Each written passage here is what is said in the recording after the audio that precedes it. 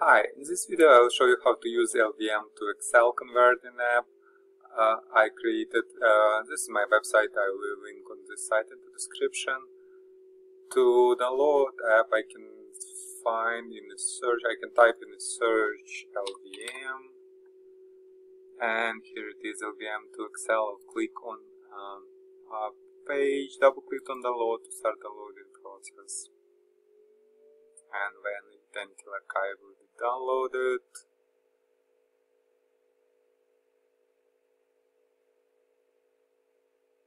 Yep, then click on Downloaded Archive.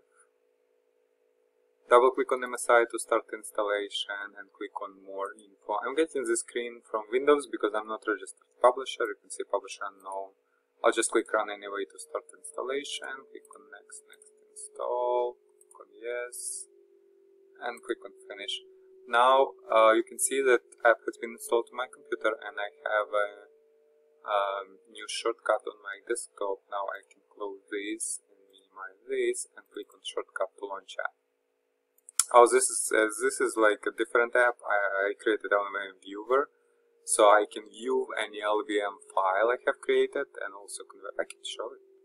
So if I go to any like LVM file, double click on it, it will just display me uh, full content of LVM file like uh, table view so I can see what is inside. And uh, also I can export into different format from this view right away. But now I want to show you LVM to Excel converter. So conversion is like three steps process um, I can uh, click and select LVM one or many files here. Click on next tab. There are no options here. Um, if you if you think of any options or if you need any options for this app during conversion, please let me know. I'll click on uh, so there are no options yet here, so I'll just click on next step. And here I'll just click on run conversion to start conversion. And now um, I have to specify folder and I have to specify name of the file. This name is okay, so I'll just save it.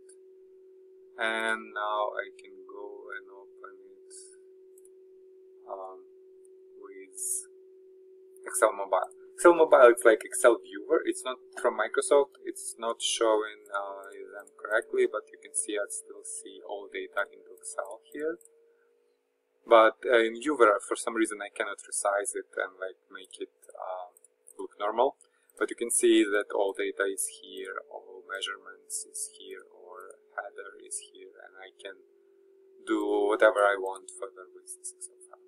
Yeah, so basically that's it. If you have any questions, uh, please leave them in comments. Um, thank you.